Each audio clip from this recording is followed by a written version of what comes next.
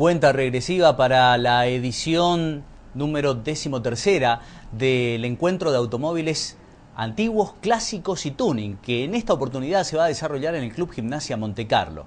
Novedades con respecto a la organización, habrá un nuevo ingreso para descomprimir las largas colas al momento de pagar la entrada. No habrá competencias de sonidos y todavía no está bien definido si se va a establecer un link con alguna radio, que era una de las propuestas que manejaban desde la organización el Club Amante de los Fierros. Andrés Cruce y toda la información.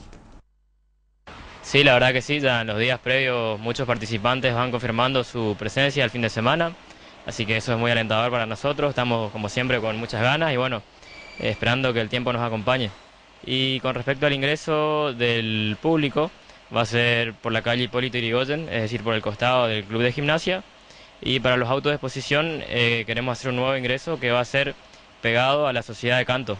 Entonces, de esa manera eh, evitamos tanto caudal de gente en, los horarios picos.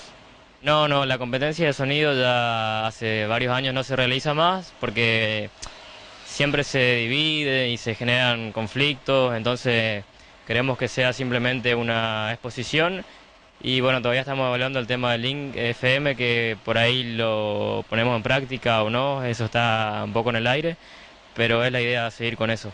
¿Cuánto es el costo de la entrada? Bueno, tenemos anticipadas a un valor de 30 pesos hasta el día viernes inclusive y en ventanilla van a estar 40 pesos. Bueno, las entradas anticipadas las pueden adquirir en el taller electromecánico de Oscar Bloch, Tornería Badilich, en el Super Monte Carlo, eh, taller de spoiler de Antonio Díaz, JS Pinturas y Repuestos. Y si no, bueno, se pueden contactar eh, a través del Facebook y le vamos a estar pasando el número de teléfono de los distintos integrantes del club que tienen para vender entradas.